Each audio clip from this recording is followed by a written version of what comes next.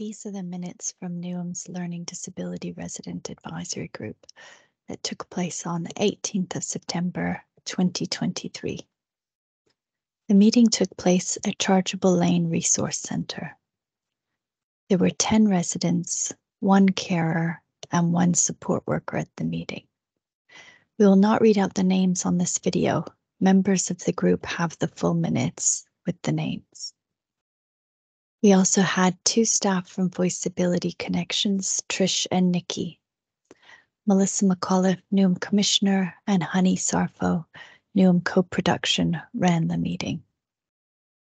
At the end of the minutes, there is a jargon buster. Words that have a star next to them will be explained in the jargon buster. These are the words that we think need to be explained. In the meeting, we talked about being heard and valued. We talked about the importance of being treated with dignity and respect. We think that clubs such as gyms, social groups, and some cinemas were respectful when there were disability groups. There were places in the community where people felt discriminated against. These were places used by everyone, such as shops, restaurants, and public transport. Some places were only good when they had learning disability or autism groups. They gave the gym as an example. It was also felt that providers, the police, the council, support workers, and even some social workers and advocates have a lack of respect and understanding. We looked at what respect meant to people and how the lack of respect made people feel. We thought that respect meant be kind to each other and treat people how you would like to be treated.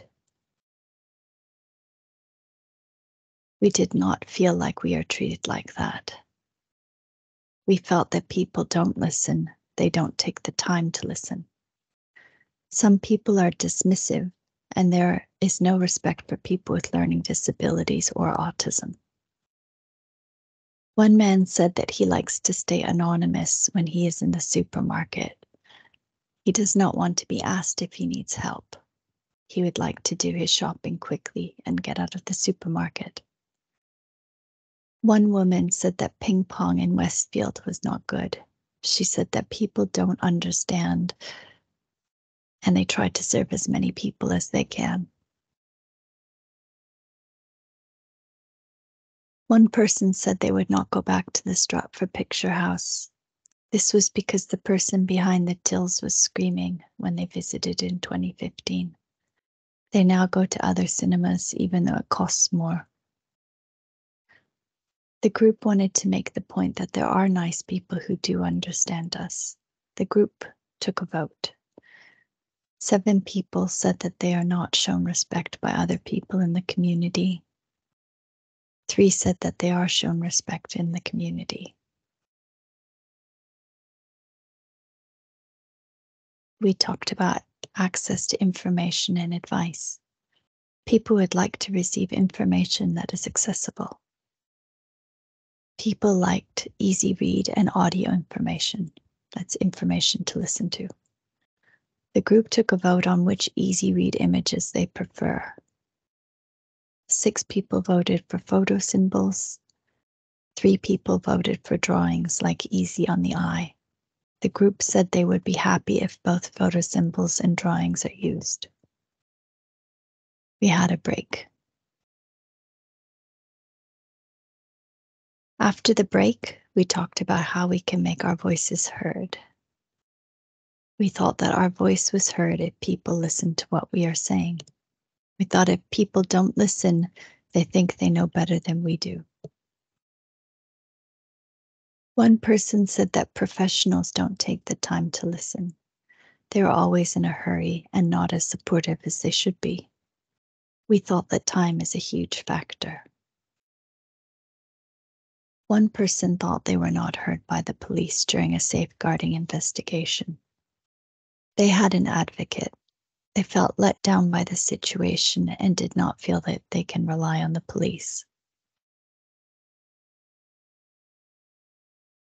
They also said they only see their social worker when they have a review. We talked about being heard when we disagree. Some of the questions were What can you do if you disagree with the police? What can you do if you disagree with a professional? Can you make a complaint? The group talked about who do you actually complain to and will they actually listen?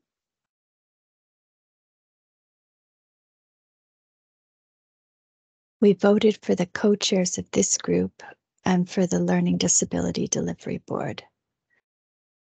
Nathan had the most votes. He chose to be the co-chair of the Resident Advisory Group. Jade and Chris tied for second. They agreed to share the role of co-chair for the Delivery Board.